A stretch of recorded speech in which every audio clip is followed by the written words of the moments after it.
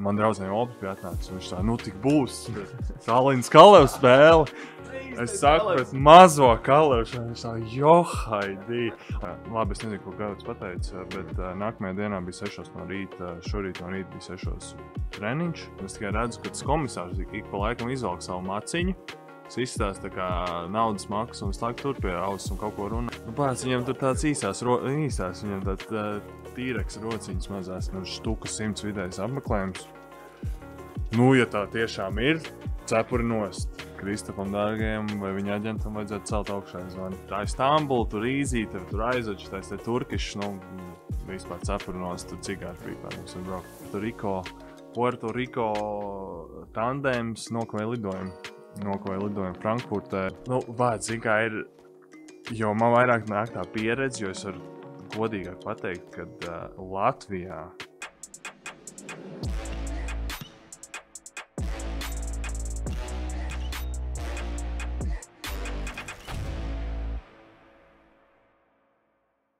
Drošākajam kazino Latvijā Pafbet LV jauna un jaudīga starta paka. 100 brīvspēles pēc reģistrācijas, 10% cashback katru nedēļu un zibi izmaksas uz visiem laikiem. Ienāc Pafbet LV! Sveiciens Pafbet šūterā un kārtējā raidījumā, kārtējā reizē, kad tiekamies ar jums un pēdējā reizē 2023. gadā. Šoreiz atskatīsimies uz pirmo triple-double eh, šajā sezonā, līgā apmeklējumu cipariem pussezonā.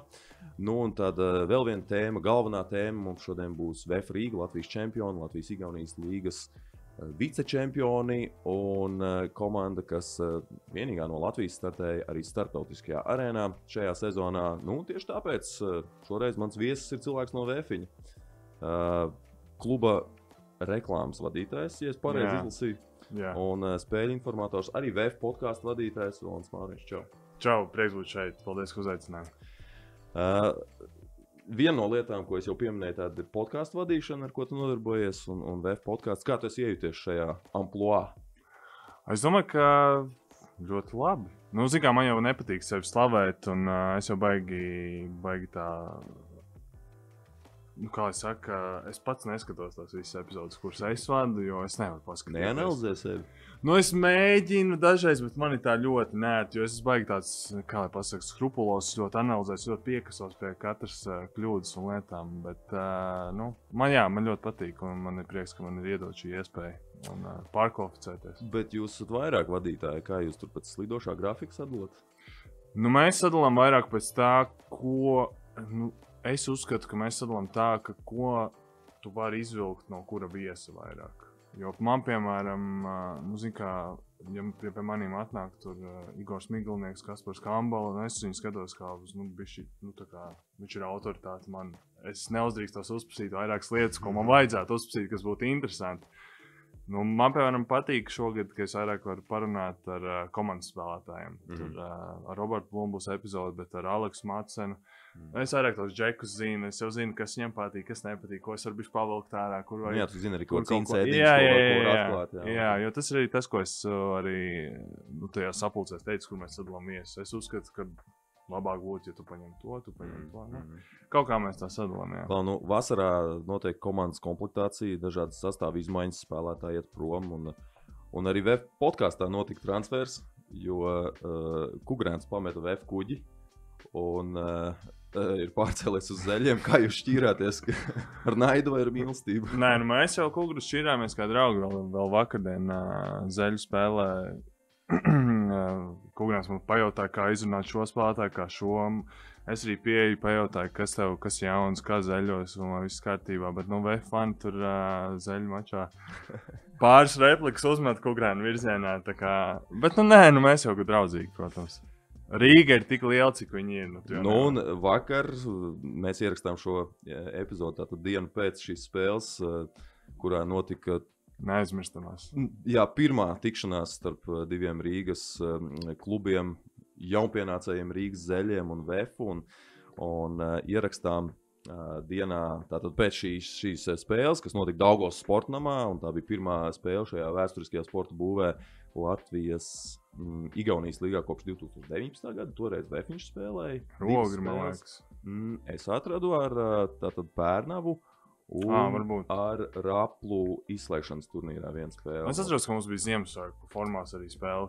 Jā, Ja nemaldos sezonā, kad bija Kāls Almens arī. Bet tas bija kāds gads. Laikam. tas, bija, tas bija 21. gads, toreiz uh, izslēgšanas spēle. spēle. Tā bija pēc Covid sezona. Jā. Un, jā, tad tur tika aizdīta arī finālsērija cits starpā. Uh, tika aizdīta tieši Daugos sporta namā.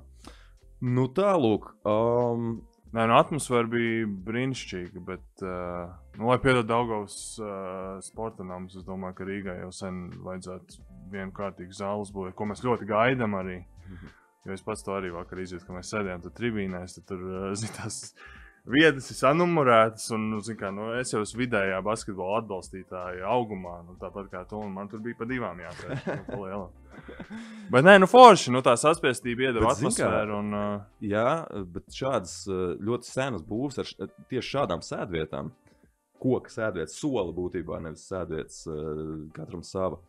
Tas jau ir īstenībā daudz, kur Eiropā joprojām, un īpaši kaut kādās tur Itālijās, kur ir vecās zāles, tur tas joprojām, un tas kaut kādu to, to garšu iedod tai visai, tam visam pasākumam. Nu, jā, jā droši vien. Nu, viennozīmīgi vismaz nodara uh, filmas vai visādas filmas. Ah, jā, tas gan, tas gan. TTT filmas, starp citu, drīzumā ar Arnoldu Lavotu. Jā, uļas, uļas lomā. Bet, um, eh, starp citu, atceries to, to spēli toreiz, kad bija jāorganizē pašiem uh, Daugos sportamā. Kā, kā ir kaut kas Nu, specifisks. man, man Daugos sportnams, es saku, lai neapvainojos cilvēkam, kam ir cieņā šī, būva, bet nu, man Daugos sportnams nekad nav asociējies ne ar ne VFam, man liekas, ar patīkamām uzvarām, zinot Baronu fināla sēriju, kur zaudēja. Un, Un man kā menedžerim, eh, ka viss tur staipīt augšā uz otro stāvu caur mazām šaurām durvīm mūžu dienu, un ka tur sponsori reklāmas. Labi, šeit labs risinājums, ko ceļi bija izdomājuši, bet nu, mums tur bija tie stacionārie banneri vai LED ekrāni grūti salikt. Tad tur uh, atcerēsimies, ka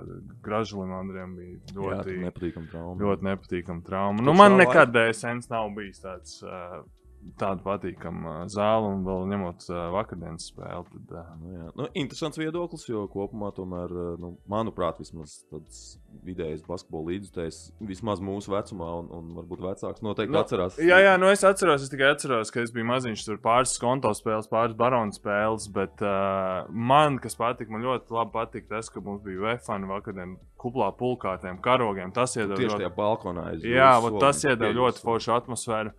Es neesmu izdzīvojis ve vecā vefa laikus, kad tur sitās vefiņš ar, ar žāģi un tā tālāk. Tad varbūt tās man būtu tā nostalģija par to Mhm. zāli, bet nu, man, diemžēl, nav tā nostalģija. Un, nē, nu, forši, nu, tāpat tās forši, ka ir, ka ir kur spēlēt. Nu, tā kā nebūtu DSNs, es nezinu, kur tad vēl spēlēt. Jā. Uh, es tur citu arī vakar komentēju šo spēli. Tieši pieminēju, nu, kādreiz varbūt spēlēja arī 49. vidusskolā, Hansas Nu, vidusskolā, bet manuprāt, tomēr nu, profesionālam klubam nevajadzētu Nu, nē, censties, nē, nē. tiekties uz spēlēšanu vidusskolas zālēs. Nu, pat arī skaties, ja, būtu, ja mēs būtu tikuši ārā no grupas, mm. mums būtu bijis jāizvada savas tās plēņu spēles Olimpiskajā sporta centrā. Es pat uzskatu, ka Olimpiskais sporta centrs, visi cieņi ir Olimpiskajam, bet nu, tomēr Latvijas, nu, Latvijas ielas sasniegs 5. vietu pasaules čempionātā. Ok, klubi nedaudz atpaliek, bet nu, klubi mēs arī cenšamies darīt visu, lai mūsu līmenis bū- būtu bijis šī augstāks. Es uzskatu arī pēc tās apmeklētības, kas mums bija šogad, un tās Mm. ažiotāžas, ka nu, tas nebūtu nu, godīgi, ja mēs spēlētu Olimpiskajā sporta centrā pret, nezinu, kas tur mums varēja nākt pretī. Mm. Es neesmu pētījis vairāk, pārāk sāpīgi. Nu, bet- jebkurā gadījumā, nu, Nu, kaut kādā iedomājās, AEX atbrauc, vai tur atbrauc kaut kāda top līmeņa komanda, ko tiešām cilvēki grib atnākt. Mums jāspēlē Olimpiskajā sporta centrā. Nu, viennozīmīgi mums vajag uh, Rīgā jaunu zāli. Nu, noteikti. Bet pats spēle starp uh, Zēļiem un Vēfu um, ļoti aizraujoši, dinamiski, liels rezultāts svārstības. Uh, vadībā bija gan vieni, gan otri. Sākumā izskatījās, ka Arnaldo Toro ir gatavs dominēt uh, sodu laukumā. Viņš guva punktus, un, ja neguva punktus, tad sagādāja otrās iespējas uh, Vēfam. Um, sagādāja arī divas ātras piezīmes Zigim Raimo, kas arī savā ziņā droši vien izmainīja to, kā spēlēt gribēja Braško vismaz spēles sākumā. Esmu apmierināts ar Toro sniegumu līdz šim, kopš viņa pievienošanās. Nu, ar to sniegumu, es domāju, grūti nebūt uh, neapmierinātiem. Viņš uh, uzstādīja pat līgas rekordu šogad uh, atlākošajās bumbās, kas bija, ja nemaldos, 22. 21 liepā. Jā. jā, un, un arī pret zeļiem viņš nospēlēja ļoti labi. Nu, nevar pārmest viņam, viņam viņš cīnās par katru bumbu, un uh, to, ko viņš var izdarīt, to viņš izdara. Mm. Uh, Pēdējā sērijas sākumā Zēja Piņēro uh, ar trīnieku no stūra panāca plus 11. Tas bija lielākais pārsvars to brīdi. Vēl vairāk, vēl 5 minūtes līdz beigām jums bija plus 10. Un šķita jau, ka zēļi pamazām lūst. Uh, nu, tomēr tad sekoja 2,5 minūtes, kurā zēļi veica izrāvienu 10-0. Vēlāk to vēl vairāk palielināja par 3 punktiem. Un pēdējā minūtē Latvijas aizmet uh, garām vienu no diviem sodiņiem. Uh, Dairis 11 sekundes līdz beigām pie mīnus 4 pārkāpa centra autu. Tādā strīdīgā nu, tā situācijā. Neveiksmīga situācija. Un, un, un būtībā ar to arī viss beidzās. Dēļas vinēja uzvaru. Uh, kādas bija reakcijas pēc spēles komandas iekšienē?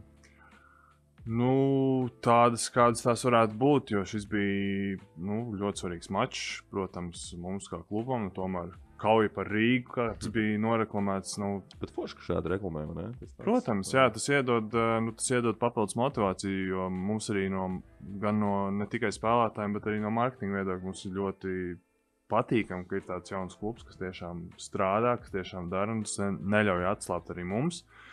Bet nu, par spēli, pēc spēles, nu, zinu, kā es nebiju sapulcē, nepiedalījos komandas sapulcē, bet nu, tur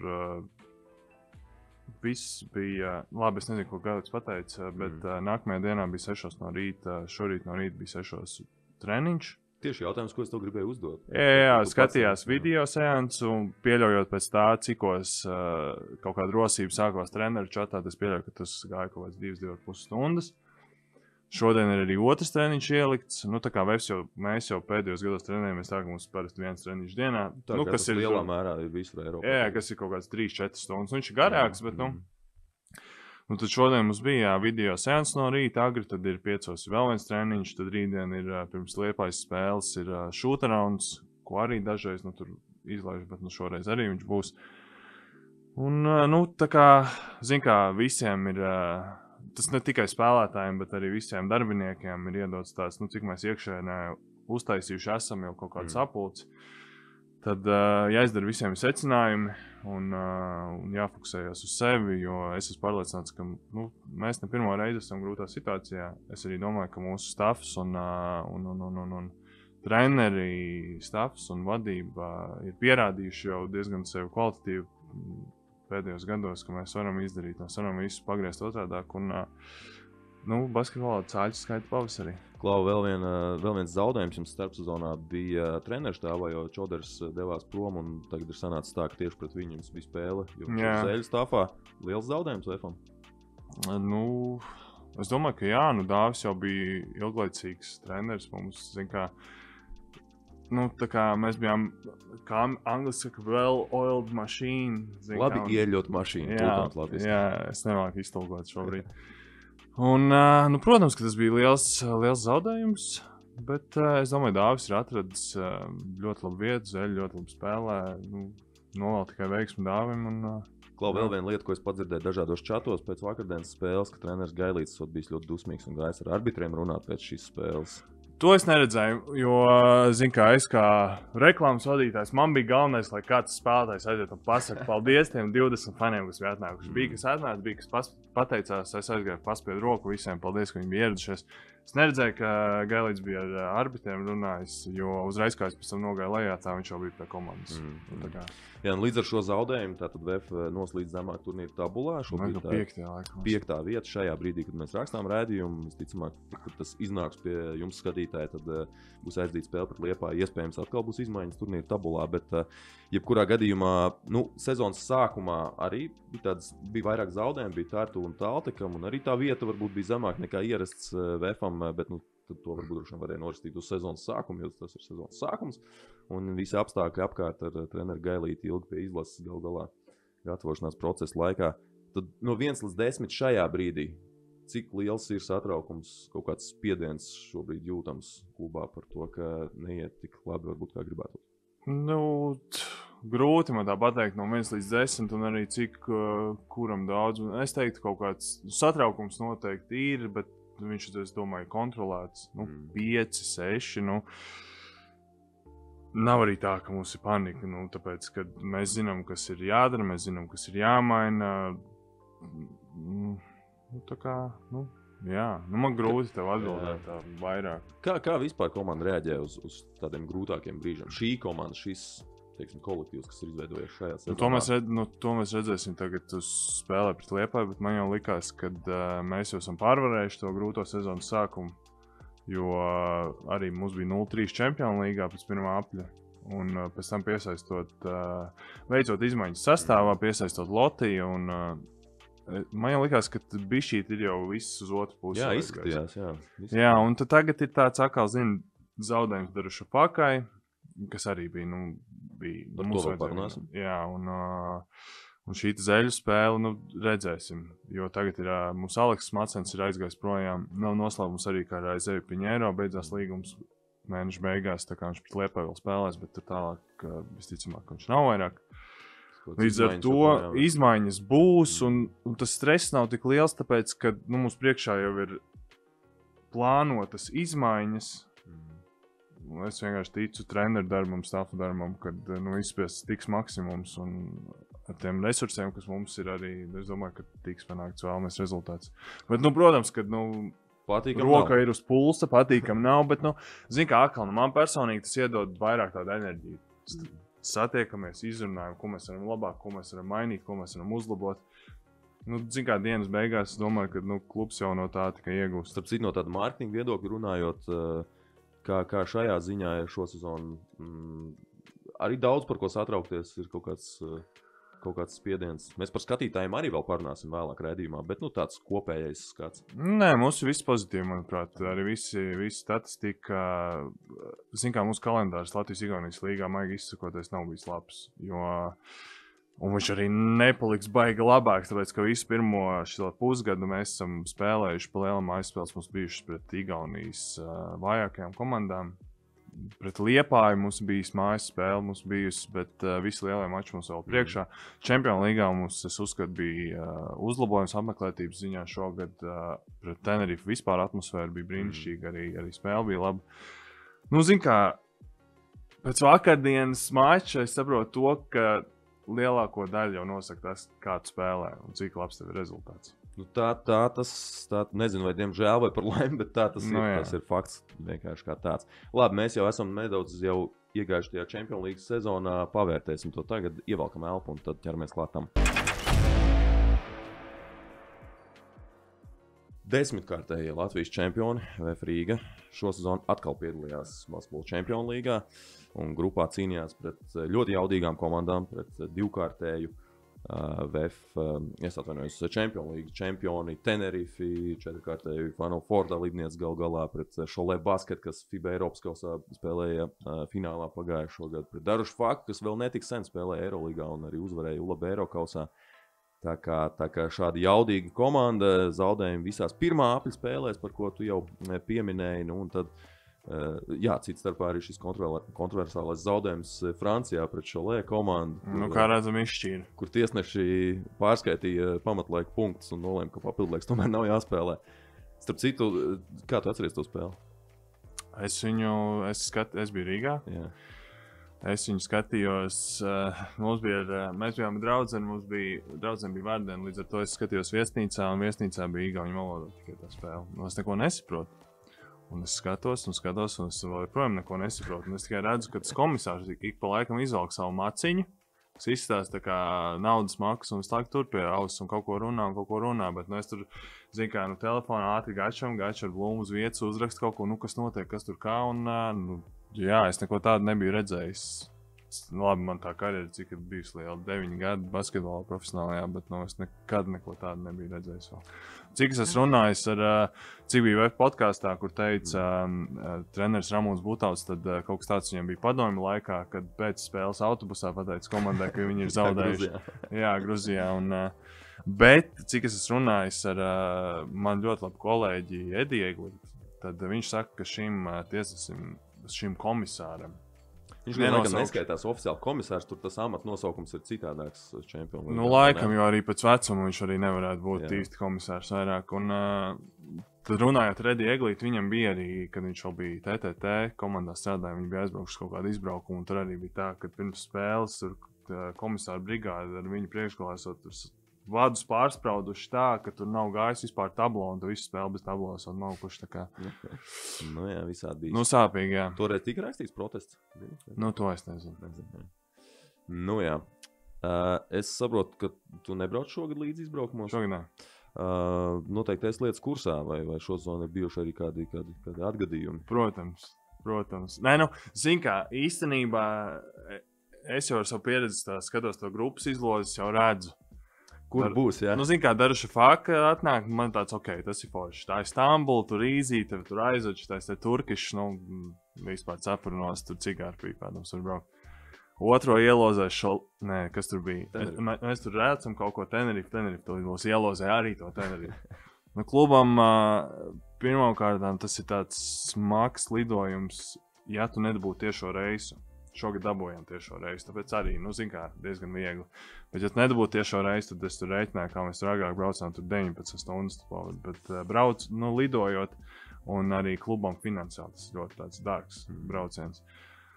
Jo tur biļeti vien maksā, tur gan arī, nezinu, pie stūkas kaut kas, nu, tūkstoši kaut kur. Un trešie ienāca šolē, un, lai gan eh, daudziem var likties, ka Francija tur taču viss ir forši un ērti un tā tālāk, tad uz Franciju parasti aizlidot ir, eh, aizlidot ir viegli uz Parīzi. Ja tālāk tur vai nu lido vēl kaut kur, vai nu sēdēs autobusā un 6-7 stundas brauc kaut kur. Bet, eh, bet šogad vienīgais, kas bija, cik es parunāju ar menedžeru un cik es arī zinu, tad uh, Francijas brauciens esot bijis tāds, tāpēc, ka uh, nu, mūsu Puerto Rico, Puerto Rico tandēms nokavēja lidojumu. Nokavēja lidojumu Frankfurtē uz, nepateikšu, kuriem viņi lidoja, bet uz Franciju nokavēja to lidojumu. brauc atsevišķi vai, vai vienkārši Nu, aizgāja? viss no lidmašīnas. Nē, nu kā, nu, zini, kā visi tur kaut ko uzsēž, nu, tam. jā. tā kā, Un tev raksta Vācijā, cik tur ir gaits, cik tur ir jāiekāp. Viņi nokavēja visu. Un tā kā viņi gāja uz gaitu, viņiem pateica, sorry, jūs nokavējuši. No visas komandas aizlidoja bez viņiem, viņi palika Frankfurtē, un tad viņi ar nākamo reizi lidoja. Tad tur bija problēmas ar somām. Nu, jā, tas bija laikam vienīgais piedzīvojums, ko cik man ir varēja pateikt. Tātad otrajā aplī bija divas mājas spēles un viena izbraukuma spēle. un Mājās izdevās gan revanšēties šolē, tā, tā, tā bija, tas bija salta revanš. Jā, protams. protams. Citu, kā ier, ar kādu attieksmi ieradās šolē Rīgā? Nu, es to prasu, tāpēc, ka toreiz Jānis Gailīts pēc tās spēles nesarokojās ar pretinieku treneru, jo uzskatīja, nu, viņš pamatoja, ka spēle nav beigusies. Jā, nu, zinu, kā es vienīgais, ko varu pateikt pēc uh, Jerry Blakesa. Jā. Jo man bija tāds, zin, kā viņš arī bija atvadījies no šīs komandas, tā, nu, zin, kā pārtraukts tika līgums tur. Un, un tā spēle vēl, bet viss draudzīgi, kā pienāca, o, čau, prieks tevi redzēt, arī cik mums sanāca ar kolēģiem no Francijas parunāties. Nu, tad viss ir tāds, kā, nu, ok, nu viens ir tas, kas notiek to laukumā, bet nu, tur reti, kad to paņem tā līdzi. Nu, ja, ja vien tā nav kaut kāda LBL finālsērija. Mm. Bet, nu, nē, viss bija, viss bija forši. Klau, tu jau pieminēji to Tenerife. Tad, kad ielozē Tenerife, atkal kārtībā reiz jāspēlē par šo komandu. Uh, kas Champions League spēlē vienkārši, ne, vienkārši neticam katru sezonu. Bet, uh, Tad vairāk ir satraukums, vai teiksim, nu, teiksim, es nezinu, vai to nosaukt par satraukumu, bet tā, tā, tas pārdzīvojums par to organizēšanas pusi, par to braucienu, vai tomēr to, ka sportiski atkal ir ļoti spēcīgs. Nē, tas ir tikai pluss uh, klubam. Tāpēc, kad uh, pirm, pirmkārt tev atbrauc tādi džeki, ko pat zina arī, nu, tur varbūt bija tālāki fani. Nu, zini, kā tev Marcelino Huertas. Nu, tā kā tev atbrauc tiešām uh, labs klubs ar lieliem uzvārdiem. Organizatoriski no lieliem, ar lieliem klubiem nekad nav problēma. Tie, tie kas spēlē Champions League, tu tur aizlido, ok, tev tur ir garāks lidojums, bet tev viesnīca vienmēr ir norganizēta. Tu atbrauc, tev vienmēr autobusi laikā, tur Spānijā, Tenerifē vispār basketbols uz rokām ir. Tev tur atbrauc, tev tur safočē, tev bildes, nevajag pat prasīt, tev jau atsūt. Un, uh, un ja tu pat vinnē šādu klubu, nu, tas ir tikai iegūms. Un arī, zin kā, nu, labāk jau ir spēlēt pret uh, stiprākām komandām. Nu, tas gan. Nu, jā, un pēc šīm divām uzvarām, tad uh, beigās viss atkal bija pašu rokās. Dāčka bija jāuzvar šoreiz gan izbraukumā. Un tur ļoti interesanti, Jānis Tīms jau bija pametis komandu, tad atgriezās komandā. Jā, Starp jā. citu, Jānis Tīms faktors, lai sapulcinātu arēnā spēlētājus, jums, nu, tev vērtējot. Es domāju, nostrādāju viennozīmīgi. Tāpēc, kad Ziniet, kā tāds neliels, neliels, neliels faktors ir tas, ka Rīgas dīnāma vairāk nav. Nu, protams, jā. Otrais, tas, ka uh, Latvijas izlase tik ļoti labi nospēlēja, un mēs varējām piesaistīt uh, Dairu Bērtānu komandā, kas ir tomēr nu, Dairs Bērtāns. Viņš atgriezās atpakaļ mājās, spēlētājs ar, ar, ar vārdu, ar uzvārdu Latvijas izlases kapteinis. Plus vēl tas, ka tā ir Daruša Faka, kas arī nu, basketbola līdzjutējiem ir zināma komanda. Nu, tur ir bijuši vairāk Latvijas Tas pats Dairis gal galā. Jā. Oskars Emersteins tur Jā. bijis Eiropas čempions. klubs. Mm. Un plus vēl tas, ka nu, beidzamie faktori, tas, ka Jānis Tīms tur spēlē un arī Kāls Almens. Nu, es domāju, nu, tā kā nu, vairāk man nav ko teikt par to. Jā, nu, diemžēl tādos izšķirošajos brīžos tika pieļauts kļūdas šajā spēlē un, un, un tika piedzīvots zaudējums. Kāda komanda atbrauc, kādu tu ieraudzīji pēc tam Rīgā atbraucot? Tas bija emocionāli liels trieciens, vai, vai tomēr nu, viss saprot, ka tas ir darbiņš un jāiet tālāk? Nē, nē, nu, protams, ka. Uh, Nu, pr- protams, ka tas ir sāpīgs zaudējums. Tāpēc, zinot to, ka Dažs-Faka bija nedaudz novājinātāk, nu, tā bija cita Dažs-Faka, kas bija Rīgā. Un, uh, un arī tas, ka nu, mēs to spēli kontrolējām, viss bija mūsu pašu rokās, izlaist uzvaru, nu, protams, ir sāpīgi.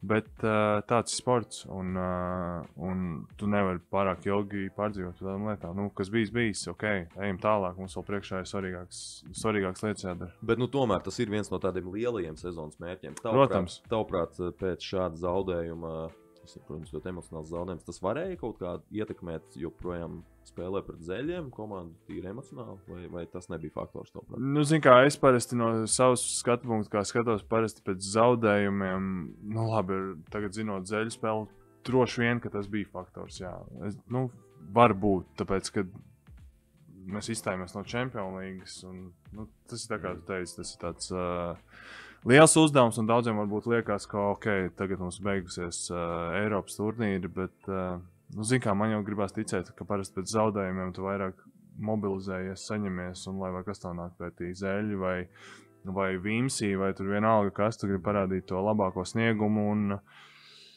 nu, es maz tā skatos, zin, kā tu negribi turpināt likt domāt cilvēkiem, kad, uh, nu, ka tu slikti spēlē basketbolu. Mm. Jā, nu, ja mēs skatāmies pēc budžetiem un tām iespējām klubiem, tad VF droši vien ir tur, kur tā objektīvi būtu jābūt šajā četru komandu kompānijā.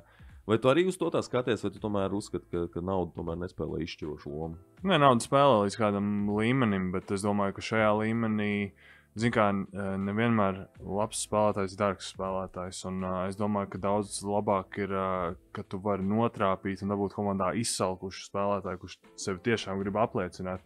Un tas ir arī bijis arī vēsturiski ar VF, pat uh, paskatoties uz to sezonu, kas bija negribu samalot, bet kad bija. Uh, Pēc Rolanda, pēc Rolanda, tā, kad nāca jā. vēl toreiz, kad bija Eirolandes kvalifikācija, tu arī paraksti dārgus spēlētājus, tā budžets lielākais, kāds tev jebkad bijis. Tu nespēlēji labi, un es domāju, ka arī Vēfs šogad pierādīja to, ka nu, nu, mēs gan tikām no grupas otrajā ārā grupā, kas bija, kas bija nāves grupa. Man liekas, nu, galvenais jau ir atrast jā, tiešām spēlētājus, kuri grib spēlēt, kuri var pieņemt lomu un zina, kā. Labi, ir atšķirība. Tur, man liekas, labi, es neesmu ģenerālmenedžers, tur uh, Šenhofam vai mums, tur treneriem vai Juram Bēziņam jāprasa. Bet man liekas, ir liela atšķirība starp 1000 eiro spēlētāju un 5000 eiro spēlētāju. Mm. Bet 5000 un 15, man liekas, jau vairs nav, nav tik liela atšķirība. Nu, pēc tam jau, kad aiziet, tur jau arī tur cīnās, jau bez mazliet, kurš var vairāk samaksāt. Nu, jā. nu, ja šķērs, šķērsgriezumā mēs varam paskatīties tieši uz spēlētāju iespēju, to nu, starp pieciem efektīvākajiem spēlētājiem uh, ir tikai ārzemnieki. Kā tev šķiet, tas, tas, tas kaut ko liecina par to, ka pietrūkst varbūt lielāka pienesuma no vietējiem spēlētājiem? Nē, nu, varbūt jā, bet, nu, ja mēs paskatāmies uz mūsu septiņiem vadošiem spēlētājiem, tad uh, tikai šajā sarakstā nav Dairis un, uh, un Mārs Gulbis. Uh, lai gan Dairis, es uzskatu, nu, viņš vienkārši neveiksmīgi iesāk sezonu. Tagad ir Pēc pavisam traumas, cits. jā. Jā, tagad pavisam cits Dairis laukumā. Varbūt tas arī tāpēc viņš nav šajā sarakstā. Nu, nezinu, Māris, nu, nu jā, nu. Man jau liekas diezgan loģiski, nu, kuram tur vēl būtu jābūt no mūsu komplektācijas. Mm. Tur būtu liels pārsteigums, ja tur būtu Roberts Blūms, vai kurš jau ir pārsteidzis visu, vai Roberts Bērziņš. Nu. Jā, nu Roberts uh, Blūms gan uzmirdzēja, un tas noteikti ir viens no tiem pozitīviem faktoriem uh, par šo Champions League sezonu. Viennozīmīgi. Ja skatāmies tīri pēc statistikas, tad viens no nevis efektīvākajiem, bet rezultatīvākajiem komandā un ar labāko plus-mínus rādītāju interesanti bija Elijah Clarence. Kas, tavuprāt, tomēr viņam patraucēja demonstrēt tādu daudz daudz, es teiktu, stabilāku sniegumu, kāpēc, kāpēc klubs nolēma šķirties. Nu, Ziniet, kā arī iekšēji varbūt tās bija pāris lietas, kas tur, uh, kuras neiedziļināšos, bet uh, nu, tā, tā ķīmija varbūt nebija īstā tajā brīdī. Plus vēl tas rezultāts nebija īstais. Un, ja treneriem bija jāsāk meklēt, kur ko mainīt un uzlabot, tad man liekas, tas bija diezgan loģisks solis atvadīties no Clarence. Nu, nezinu. Jā, Tā es varu tikai pateikt. Jā, nu, no pozitīviem aspektiem, kā jau teicu, tad Roberts Blūms uzmirdzēja pret šo lēsā met 11 punktus, nu, vidēji 4,2, bet nu, tas arī droši vien raksturīgi, ka jaunam spēlētājam tas sniegums arī var būt netik stabils. Otra lieta no pozitīvām lietām - vidēji 3876 skatītāji mājas spēlēs arēnā Rīga. Eh, kā tas ir salīdzinājumā ar iepriekšējiem gadiem? Iepriekšējos gados, jau kā, pagājušajā gadā mums bija, pirms tam jau bija Covid laiks, nu, jā, ko man bija vissāpīgāk. Mums bija VFM, bija viskaistākais basketbols, kāds bijis ar uh, Almans Kaisers. Jā, nu, tur tas basketbols Nē, bija rezultāts, vēl pat bija ļoti žēl, ka skatītāji nevarēja izbaudīt. Nu, Zinām, kā pagājušajā gadā, ja es, es nepaskatījos, bet man liekas, vidēji mums bija kaut kur 2,5, 2,7 uz Champions League. Nu, lai, gan mēs, stipri, lai gan mēs savācām uz uh, Prometēju, kas mums bija arēnas mm. spēle, mēs savācām 5. Jā, kaut kas tāds bija 5,5 man liekas, pat bija. Uh, Ziniet, kā es pat vērt, es vērtēju to ļoti pozitīvi, ka mums ir tāds cipars apmeklētībā, kas ir arī nu, mērķiecīgs darbs, ko mēs esam darījuši jau divus gadus pēdējos vismaz, un, un ko es vēl gribēju teikt par šo? Nē, nu, tev, kas bija tie faktori, kas tavuprāt ietekmēja, lai tribīnas piepildītu labāk nekā, nekā iepriekš? Nu, zin kā. Kaut kāds varbūt īpašs. īpašs Nē, nu, pēdējos divus gadus mēs, mēs, mēs baigu uzsvaru liekam uz jauniešiem. Mums šogad ir sadarbība arī ar basketbalu klasi. Uh, Bet uh, viņi jau pirms tam mums bija sadarbība tādā ziņā, ka mēs biļetes piešķirām jauniešiem un, uh, un basketbolu skolu audzēkņiem. Un tas ir darīts ar to, lai radītu pēctecību. Nu, kā, mm. jo jaunieši ir vieglāk kā, pavilkt kaut kur un parādīt, ka sports ir tiešām forša lieta, ne tikai nodarboties, bet arī atnākt atbalstīt. Un tāpēc mēs uh, baigi aktīvi sākām strādāt uh, sociālos tīklos, TikTokā jauniešiem bezmaksas basketbols. Tas ir tāpēc, lai, piemēram, tu atnāktu ar uh, savu otru pusīti, un, un ja vēl tev ir uh, divi jaunieši jāņem līdzi, ka tu nesamaksā 40 vai 50 eiro.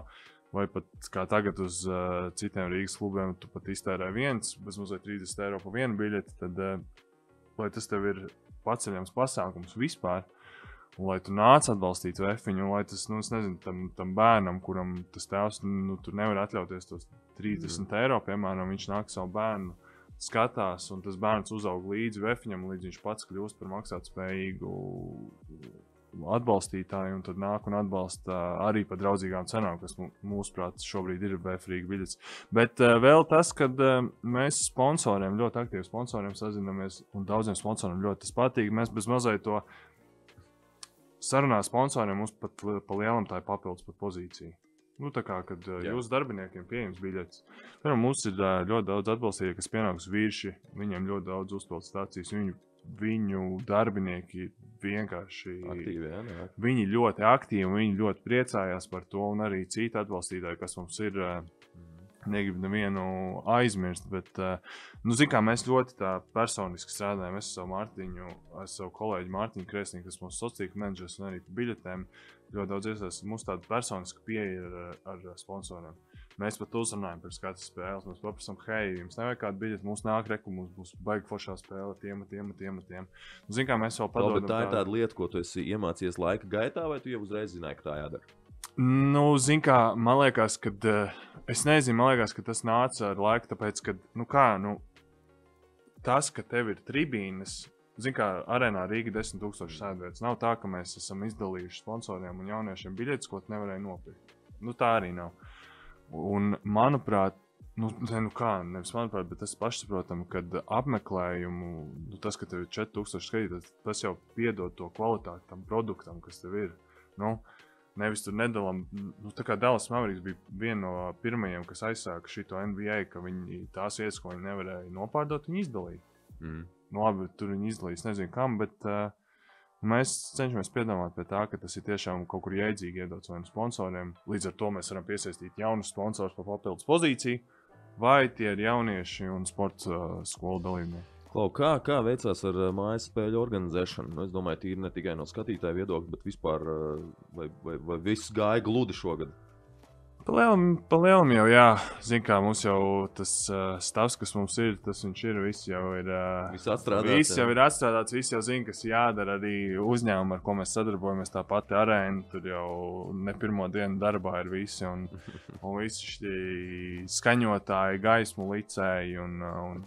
Bet Champions League kaut kādas prasības vai kaut kas tamlīdzīgs ir mainījies gadu zin, gaitā? Nu, vārds, zin kā ir, jo man vairāk nāk tā pieredze, jo es varu godīgāk pateikt, ka uh, Latvijā, kā strādā labi, es nezinu, kā bija Vēnspils laikā, bet Rīgā, tad to, ko mēs izpildām, pa tiem visiem, nu, zin, kā tev atbrauc. Visiem te... punktiem, jā, kas, jā, kas būtu jādara. Tev atbrauc tehniskais delegāts. Viņš saka, tev mums vajag šito, šito, šito, šito, šito. Visus gadus mēs darām šito, šito, aiziet, aiziet, aiziet, sarunāt, sarunāt, sarunāt. Bet nu, tagad jau kad es izbraukāju, kā notiek citur, nu, Grieķijā, Melnkalnēs un vēl kaut kur, kur bez mazai, nu, tur uh, viss ir piepīpēts pārtraukumos. Un, uh, Un, uh, un sponsori ir salikti, da, kur vien gribās, uz, uz vairogiem, aiz vairogiem, vienalga, kur. Nu, tas, uh, mēs visu tāpat izdarām, pieeja, bet stress ir daudz mazāks. Ja kaut kas trūks, zina, kā tur atnāk kāds teiks, ka jums nav šis, jums nav šis. Viņam saka, ok, izdarīsim, viss kārtībā nav stress, jo sliktākajā gadījumā tāpat jau viss būs labi. Bet uh, viņi neliek kaut kādus sodus vai, vai neaizraujās ar to? Nu, mēs vēl neesam saņēmuši, un es arī neesmu dzirdējis neko par citiem. Bet nu, tie sodi diezgan lieli, kas viņiem ir tajos manuāļos rakstīti. Varbūt tāpēc arī neaizraujas pagaidām. Ar, ar varbūt, varbūt, jā. Varbūt. Jā, VF čempionu līgas spēles skatījās arī TVNet sporta žurnālists Raimons Ozoliņš, un tāpēc palūdzu arī viņam izteikt viedokli par eh, VF aizvadīto sezonu no sportiskās puses šajā starptautiskajā turnīrā. Paklausāmies!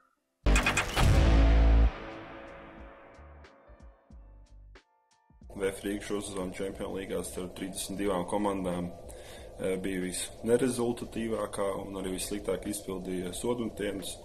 Skaidrs, ka video rādītāji ļoti ietekmē spēli Tenerifē, kur tika gūti tikai 55 punkti, taču nu, arī 80 punktu robeža tikai vienreiz tika sasniegta pēdējā mačā, kas uh, uzvaru tomēr neatnesa. Uh, savukārt uh, sodmetieni sešās spēlēs kopumā 34 netrāpīt, kas šķiet uh, ārkārtīgi daudz šādā nogriezienī. Un, um, arī tieši pēdējā spēlē tie astoņi netika trāpīti, tikai realizēti 7 no 15, kas tomēr sīvā cīņā spēlējot punkts punktā ir ļoti, ļoti izšķirošs faktors. Saspēles vadītāja pozīcijā tomēr trūks pieredzes.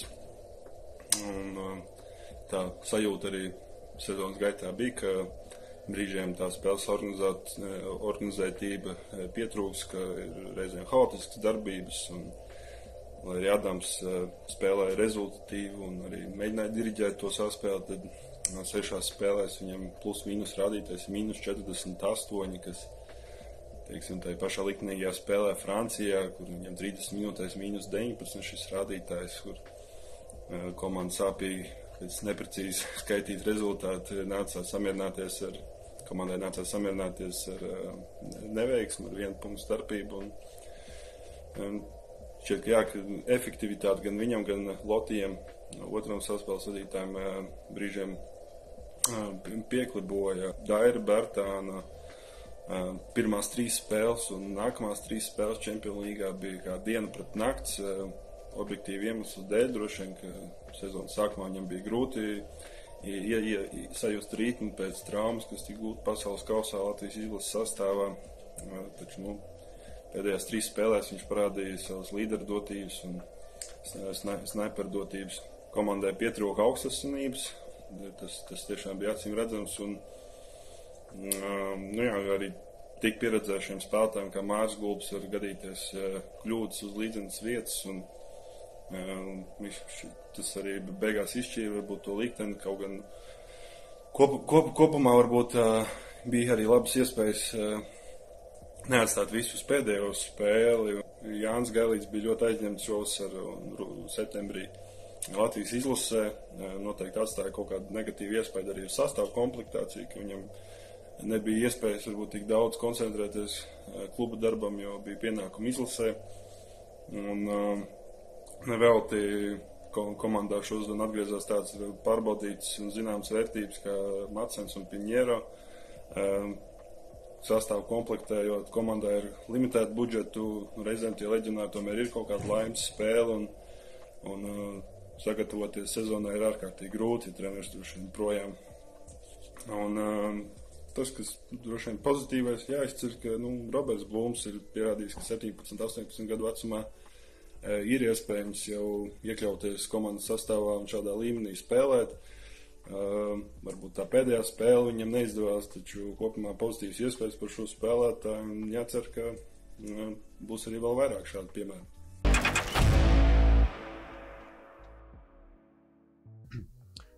VF piekto reizi spēlēja Champions League, trešo reizi, diemžēl, neizdevās tikt ārā no grupas. Tas nozīmē, ka sezonas turpinājumā jākoncentrējas uz vietējā basketbola reālijām. Latvijas kausa jāaizstāv un LBL čempionu tituls jāmēģina iekust, iekust prometējumu, bet Latvijas-Igaunijas līgā. Um, nu, Latvijas-Igaunijas līgā pavisam nesen tika sasniegts, uh, kas mūsu platuma grādos visai rets, proti, triple double. Kristaps Dārgais spēlē pret Pērnavu, kurā Ogra izcīnīja uzvaru. Izcēlās ar triple double, viņam 14 punktus, 14 bumbas un 10 rezultātus piespēles šajā spēlē. Tas bija Kristapa trešais triple double viņa profesionālajā karjerā. Viņš 21. gada maijā ar 20 plus 11 plus 10 sekmēja Ogras uzvaru toreiz LBL 4. finālā pret Liepāju. Un pirms 12 gadiem, 2011. gada 6. novembrī, es atradu spēli, kurā vēl Latvijas Universitātes rindās Kristaps sasniedz tādu mazāk tipisku triple double. Viņam 23 eh, punkti, 18 bumbas un 11 izbraucētas piezīmes toreiz spēlē pret Jūrmalu. Uh, Roland, kā tev šķiet, uh, tas, cik tas ir sarežģīti Latvijas-Igaunijas līgā sasniegt kaut ko šādu triple double? Nu, man paskatoties uz mani un uz manu spēlētāju karjeru, es teiktu, ka neiespējami. bet, uh, bet uh, nu, nu, nu, protams, tas uh, nav viegli izdarāms. Kristaps Dārgais. Tev pārsteidz, ka viņš to izdarīja? Man īsti laikam nepārsteidz, jo viņš jau to izdarījis. Viņš ir tāds vispusējs spēlētājs, bet nu, Kristaps Dārgais tiešām ir dārgais spēlētājs ogrei. Un, nu, zin kā, ja mēs skatāmies tādā Ziemassvētku mīlestības ziņā, nu, tad Kristaps Dārgais ir tas Spēļu pierādziņš, man liekas, bez kā nevar iztikt Ziemassvētkos, un bez kā ogre arī nevar iztikt. Es arī domāju, Latvijas, Igaunijas basketbola līnija nevar iztikt, jo mums vajadzētu vairāk šādus spēlētājus. Spēļu pierādziņus. Jā, vairāk spēļu pierādziņus galdā. Es domāju, visi būtu daudz priecīgāki. Un, eh, nu, protams, ka tas nav viegli izdarāms, bet nu, kurš gan cits visu zārgais ogrē. Jo viņam tur arī ir zaļā gaisma, viņš tur arī dragā, viņš tur arī var. Var palīdzēt komandai, nu kā viņš bija MVP 2022. sezonā. Nu, Jā, jā. jā Olivers Suraks no Vīmsiem, starp citu, pāris reizes bija stūri. Šogad Aleksandram Kovļaram pret Valmieru pietrūka divas atlēkšās bumbas. Norberts Strautiņš Čilps ir kaut kur nedaudz flirtējuši ar triple double. Starp citu, pašā sezonas pirmajā spēlē Keils spēlētājs amerikānis Kevins Džonsons e, izcēlās ar 31 punktu, 8 bumbām un 10 pārtvērtām bumbām. Tā kā arī šādā veidā, protams, var savākt. Viņš, viņš vēl ir šajā, viņš viņš ir šajā jā. komandā. Ah, Jā, okay. tā, kā, tā kā, kurš, tavuprāt, potenciāli vēl varētu būt tāds spēlētājs? Varbūt VFā tur redz kādu, kurš potenciāli varētu kaut, kaut ko tādu paveikt. Tāds vispusīgs. Mm, vispusīgs. Es tā, jau man, pirmais, man pirmais ienāca prātā, ko, ko Dievs Toro varētu dabūt tā viegli, bet asists bloķētiem laikam- metieniem. Nu, gan viņam tur tāds īsās, ro, īsās viņam Jā. tāds tīreks rociņas mazās. nu, Ādams. Būms jau viņš ar tomēr var šādi savākt. Jā, bet ja Adams savāks desmit bumbas, nu, tad es nezinu. un es viņam novēlu, protams, nu jā, no aizēja Piņēro varbūt tas, uh, varbūt Māris Gulbis, ja mēs skaitām trešo, uh, trešo statistikas rādītāju kā trīnī, trīnīšiem, es te desmit varbūt tās.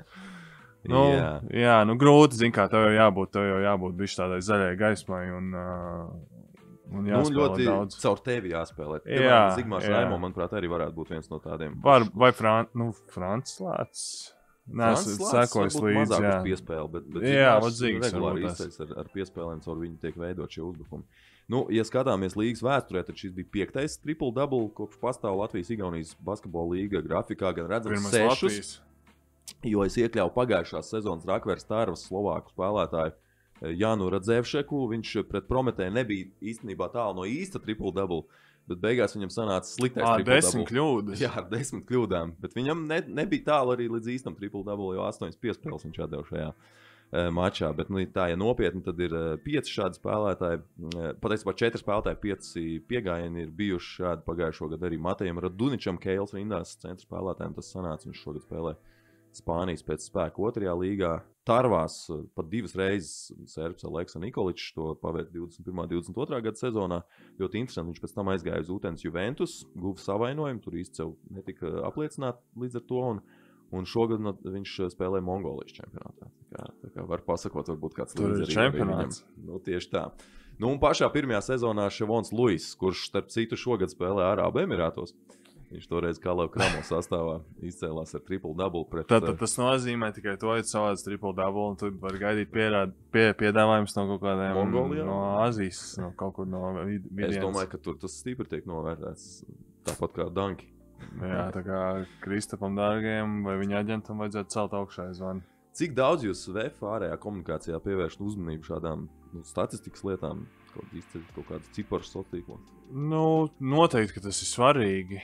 Nu, izceļam, ja, ja tāda iespēja ir, tad viņi noteikti tiek izcelti. Nu, tā kā Toro gadījumā tev ir līgas rekords, nu, tu jau to parādi, tu jau to lepojies. Nu, jā, nu, daudz. Tas laikam ir vesels. Nu, tos ciparus jau var meklēt un meklēt. Un man ir interesanti pašam to dažreiz brīvajā laikā padarīt. Bet, uh, bet tas ir baigais darbs tomēr. Atrast kaut kādus Jā, jā. punktus. Jā, ot, zin, kā es pats es tieši tagad aizdomājos, diez vai ir uh, Latvijā kaut kāda statistika kopēji apkopot, cik ir punktus iemetuši katrā komandā. Kas ir katras komandas rezultātīvākais spēlētājs? Zinu, ka LU, es zinu, ka LU vāc statistika. Zinu, ka arī arī ir bijuši kaut kādas sociālas Var, varbūt, jā, ot, ot, man šīs interesē, jo mēs iekšēji, nu, mums nav kapacitāte. Nu, tā kā sēdēt, skaitīt visu, tur, ok, varbūt tās kādu, kādu mēnesi, ja man nebūs ko darīt, es varēšu sēdēt un skaitīt visus protokolus. Bet... Nu, tas ir svarīgi, tas ir interesanti. Tas patīk cilvēkiem, tas patīk faniem. Nu, cipari, statistika, daļa no basketbola. Jau Nu, par cipariem parunāsim arī raidījuma noslēgumā. aiziet. Kā iepriekš es eh, solīju, arī pussezonā mēs atskatīsimies uz apmeklējumu cipariem Latvijas-Igaunijas basketbola līgā. Nedaudz ir sapa, eh, samazinājušies eh, cipari līderiem. Vairs tikai viena komanda ar vidēji tūkstošu apmeklētājiem. Mājas spēlēs, protams, te uzreiz ir jāpiemina, ka Latvijas, es jau redzu, ka tu smaidi, bet Latvijas klubiem spēļu protokolos lielākoties Turpina rakstīt visai apaļus ciparus, kamēr Igauni līdz vienam eh, saskaita uh, savus uh, apmeklētājus, bet ne visi arī Latvijas klubi, un tā skaitā VFS arī ir gan tā, gan tā bijis, gan apaļāk cipari, gan netika apaļi cipari. Uh, VF pirmajā spēlē pret Pērnavu protokolā 150 Kļūda, kļūda, es biju kļūda, klātienē, kļūda. tur noteikti bija Nē, vairāk. nē, nu, tas, tas jau arī, nu, zin kā, tas jau ir, šie visi cipari jau turās uz tādu godprātu. Vai, vai uz kaut kādu, vai uz Nu, kaut kādu. it kā pārdot biļetes, tu taču zini, cik ielūgumus tu esi izdarījis. Jā, jā, bet, uh, nu, labi, negribas jau teikt, ka, bet, nu, līga jau, līga jau tev paprasa, viņi jau tev nekādas atskaites neprasa. Tāpēc arī Ventspilī, nu, štuka simts vidējais apmeklējums. Nu, ja tā tiešām ir, cepuri nost, bet, uh, Bet bet trešdaļa no ietilpības. Nu, nedaudz vairāk. Nē, nē, nu, nu, nē nu, varbūt, varbūt, protams, jā, bet uh, zinot to, nu, tas viss ir uz godu prāta. Tev pasaka tas pats, kas ir pārno. Viss tiek skatīts pēc tiem boxu skoriem, kas ir tie, nu, pēc boxu skora. Kas tas ir Latvijas spēles protokols Spēles protokols, jā, jā, viss skatās pēc spēles, spēles protokola, un, nu, jā, mums jau arī pirmajā spēlē 150 cilvēki. Kā tas parasti notiek, tev komisārs vienkārši paprasa, hei, roli, cik šodien skatītāji. Un Tas jau ir atkarīgs no tā, jau ir- Nē, to, kā bija tas 150, es nezinu, no kurienes tika izvilkts. Tā bija kaut kāda kļūda komunikācijā vai kaut kur. Bet parasti tas ir, jā, tev vienkārši klubā paprasta, ne, netiek nekāds atskaits, nekas prasīts. Bet uh, nu, tas mūsu cipars 459 ir, uh, ir uh, tiešām objektīvs, varētu teikt. Nu, tā, Nu, jums- tā arī ir. Jā. Jā, jums par Kēlu ir, uh, bija ierakstīts 617 skatītāji, pret Alteku 589. Nu, pagaidām gan jums visai maz to mājas spēļu bijis, tikai 5 aizvadītas. Tā kā droši vien arī tas. Un uh, arī neietekmē. pret tādām komandām, kas īsti Latvijas līdzekļiem varētu nešķist Visas nešķist igauņu tik komandas tikai, interesants. jā. Un arī un, un, un, Igaunijas komandas, kas arī nav Kalevs, kas arī nav Tartu, kas kādam kaut ko izsaka vairāk. Mm. Bet, uh, bet, bet, bet, bet, bet, ko es gribēju teikt? Ah, pret mazo, mazo Kalevu, pret uh, Kalevu, uh, kas ir tas Snabi, jā. jā 512. Kalevs Snabi. Mums bija ļoti daudz cilvēku, starp citu. Un uh, viens, ko es varu pateikt, uh, man draugs no Olimpas bija atnācis, un viņš tā, nu, tik būs. Salīdzinājums Kalevu spēle. Es saku, pret mazo Kalevu, un viņš tā, johaidī. Un es domāju, varbūt tas nospēlēja kaut kādā ziņā arī, jo, nu, zin kā, Apmānījāt. pirka biļetes arī diezgan daudz, netipiski šādam mačam. Es, es jau domāju, ka nu, 500 cilvēku, 400-500 cilvēku atnāk uz tādu maču Rīgā. Tas jau ir, Tas ir labs rādītājs. tas ir labs rādītājs. Jā. Jā, nu februārī un martā jums ir daudz mājas spēļu, un arī pret labiem pretiniekiem, pret Prometēju, Kalevu, Lielo Kalevu, pret Zeļiem, Nu, Ogri. Tas, zin kā.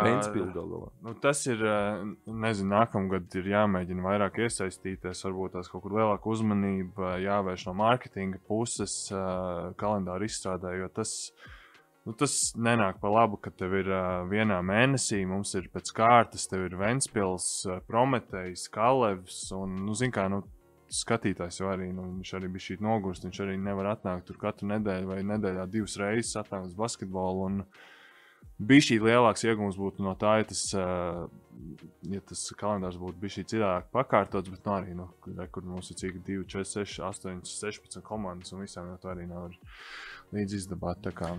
Bet nu, pēc trim ceturdaļām sezonas atkal mēs šajā raidījumā skatīsimies uz apmeklējumu cipriem.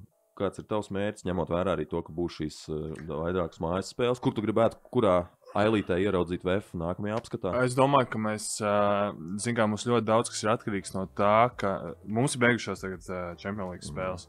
Līdz ar to tas uzstādījums, ko mēs gribam dabūt, mēs gribam prometēt nospēlēt arēnā un uztaisīt tādu pašu spēli, kā bija pagājušajā gadā. Jo, nu, zināmā mērā, mums arī nenāk labu tas, ka Olimpiskais centrs nav mūsu mājas zāle. Līdz ar to mēs, ir, mēs esam ļoti limitēti, lai izdomātu kaut kādas, uh, nezinu, piemēram, nosaukt šo tribīni par tādu sponsoru tribīni, izdomāt šī tāda aktivitāte tur. Nu, tur vajag baigo kapacitāti un resursus arī darbiniekos. Ok, tu vari tā darīt, bet uz katru spēli likt virsū kaut kādus mm. banerus, karināt ārā, tur ņemt papildus. ap- Nu, Olimpiskais arī nav piemērots, lai sadalītu kaut kādu ielas plūsmas, tur dažādas. Un, Bet mans mērķis, eh, mūsu komandas mērķis noteikti tikt. Nu, es domāju, vidēji mēs varētu, ja mēs prometēju nospēlējam arēnā un savācam arī kaut kādus 5000, un ņemot vērā to, ka uz nākamajām spēlēm mēs domājam 500, 600 cilvēkus, nu, tad video apmeklētība, es domāju, 700, 800 un mēs dabūsim, tas būs Jūs forši. tur pa pirmo piecnieku cīnīsieties. Nu, tas būs forši, jā, jo es domāju, ka objektīvi mēs varam ar tām labākajām spēlēm uzīt uh, apmeklētību līdz vidēji 600. Un, ja mēs to prometēju ļoti labi pārdodam, tad tas varētu būt vairāk. Nu, finālsērijā pagājušajā gadā mums nāca pilns olimpiskais pilns zāle, līdz ar to nu, tur 900. Uh, nezinu, cik tur bija. Nu, šogad Mm. mm. 900 līdz 1000 arī uz finālsēriju būs. Nu, tā kā tā, nu. Jā. Kaut ko darīs, kaut ko mēģinās. Jā. Nē, nu mēģināsim un darīsim, tas ir skaidrs. Un, un ļoti labi, ka ir intriga vietējā līgā. Uh, nav tā, ka uh, es rulēju pa priekšu visiem. Un, uh, un... Klau, bet, bet intriga, nu, ļoti daudz mums sanāk šeit runāt par zēļiem, jo tas ir jauns klubs ar, ar ambīcijām un arī mārketingiem. Bet uh, tā ir arī cīņa mārketinga departamentos.